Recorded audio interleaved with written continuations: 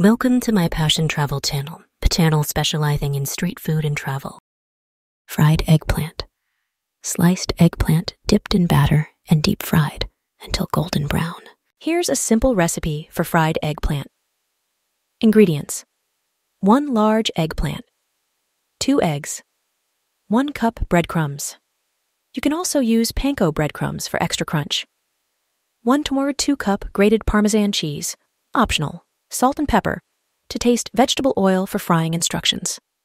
Wash the eggplant and slice it into rounds, about 1 4 to 1 to 2 inch thick.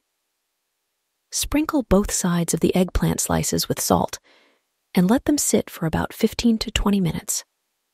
This helps draw out excess moisture and bitterness from the eggplant. After 15 to 20 minutes, rinse the eggplant slices under cold water and pat them dry with paper towels. In a shallow bowl, beat the eggs with a pinch of salt and pepper. In another shallow bowl, mix together the breadcrumbs and grated Parmesan cheese, if using. Heat vegetable oil in a large skillet over medium heat. Dip each eggplant slice into the beaten eggs, coating both sides, then dredge them in the breadcrumb mixture, pressing gently to adhere. Place the coated eggplant slices in the hot oil and fry until golden brown on both sides, about 3 to 4 minutes per side. Once cooked, transfer the fried eggplant slices to a plate lined with paper towels to drain any excess oil. Serve hot as a side dish or appetizer, optionally garnished with grated Parmesan cheese or chopped fresh herbs. Baked sweet potatoes. Whole sweet potatoes baked until soft and served as a snack or side dish. Here's a simple recipe for baked sweet potatoes. Ingredients 4 medium sized sweet potatoes, olive oil, salt, optional toppings butter, cinnamon, brown sugar, marshmallows, chopped nuts, or herbs like thyme or rosemary. Instructions Preheat your oven to 400 degree F, 200 degree C. Scrub the sweet potatoes clean under running water and pat them dry with a towel. Pierce each sweet potato several times with a fork to allow steam to escape while baking. Rub the sweet potatoes lightly with olive oil and sprinkle with salt. Place the sweet potatoes on a baking sheet lined with parchment paper or aluminum foil, leaving some space between them.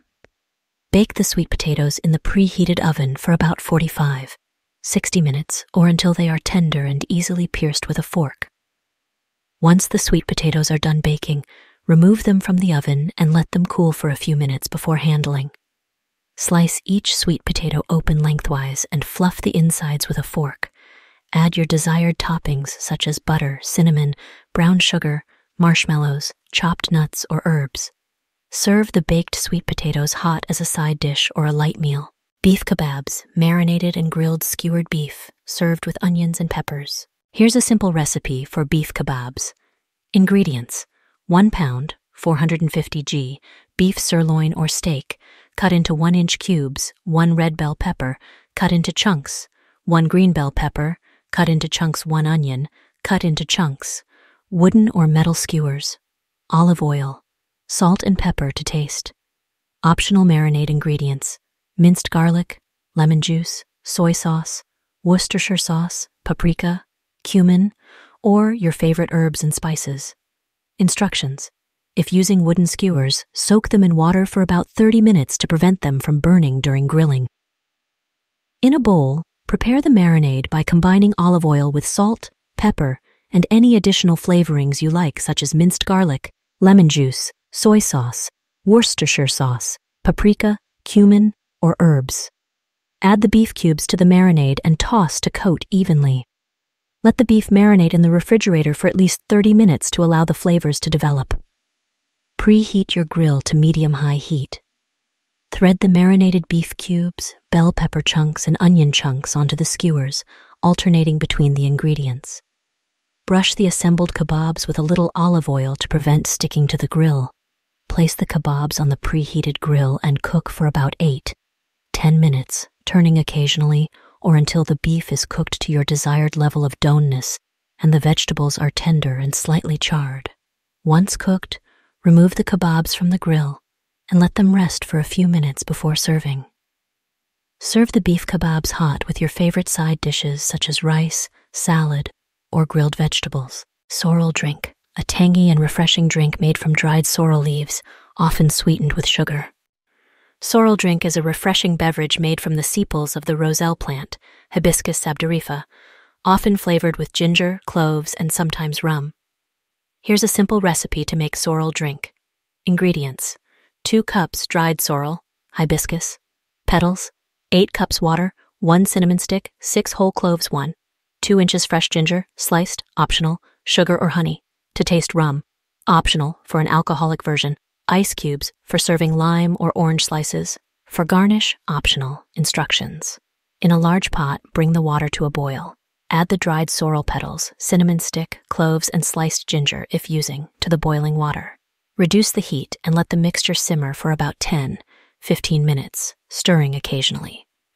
Remove the pot from the heat and let the sorrel mixture steep and cool to room temperature, allowing the flavors to infuse. Once cooled, strain the sorrel mixture through a fine mesh sieve or cheesecloth into a pitcher to remove the solids.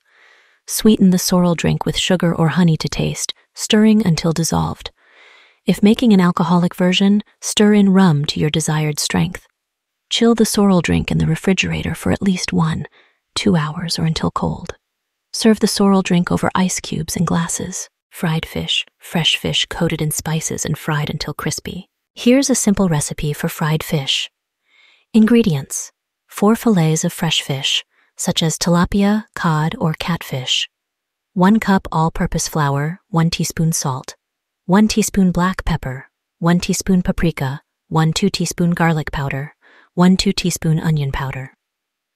Vegetable oil for frying lemon wedges, for serving tartar sauce or your favorite dipping sauce. For serving, optional. Instructions.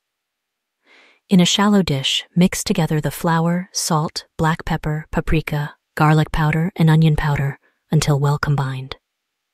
Pat the fish fillets dry with paper towels to remove any excess moisture.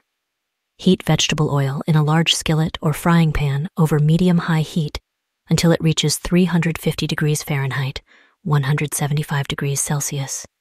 Dredge each fish fillet in the seasoned flour mixture, shaking off any excess. Carefully place the coated fish fillets into the hot oil, being careful not to overcrowd the pan. Fry in batches if necessary. Fry the fish for about three, 4 minutes per side, or until golden brown and cooked through. The internal temperature of the fish should reach 145 degrees Fahrenheit, 63 degrees Celsius.